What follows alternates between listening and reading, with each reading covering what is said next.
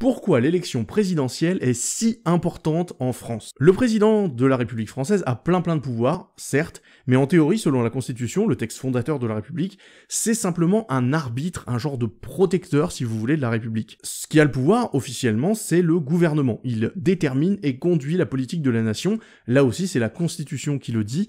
C'est bien le président qui nomme le Premier ministre, donc il y a quand même un pouvoir politique, mais c'est pas le meilleur pouvoir euh, politique. Parce qu'il aura beau nommer un Premier ministre, si la majorité des députés n'est pas d'accord avec le gouvernement, elle peut exiger sa démission. Et même si le président euh, vient de le nommer, eh ben on s'en fiche. En fait, on appelle ça une censure du gouvernement. Niveau pouvoir politique, pouvoir virer un gouvernement, c'est quand même bien plus fort que juste le nommer.